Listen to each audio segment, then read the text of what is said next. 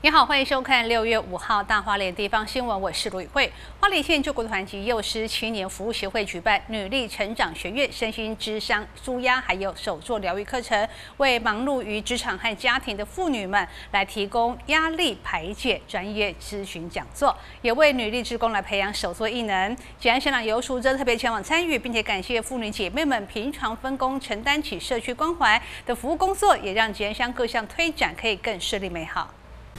花莲县救国团和幼师青年服务协会在吉安乡举办了女力成长学院身心咨询舒压及手作疗愈课程，希望可以为忙碌在职场和家庭的妇女们排解压力，促进正向的人生观。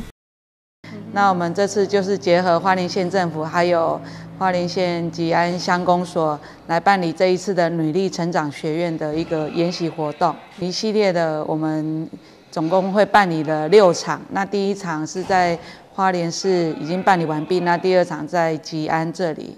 对，接下来还有在呃凤林、玉里，还有秀林跟富里，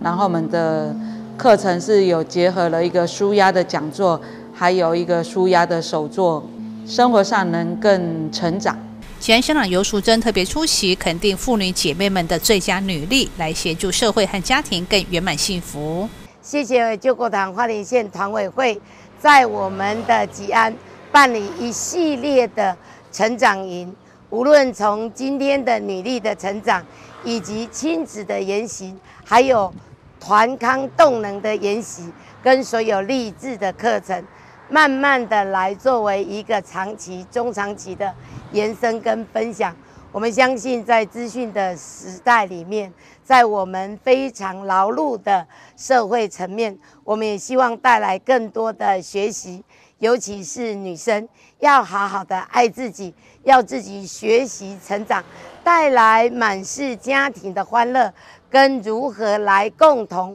培育家人感情的一个素养。我相信，这是都是我们应该一起努力，加油。检场活动特别邀请到专业心理咨商师来进行辅导讲座，还有花艺老师现场手作索拉花艺教学，让参与的学员身心灵都可以放松。救国团表示，未来会持续举办各项创意课程，帮助民众创造崭新内涵，进而培养积极的人生观。谢旅会简香报道。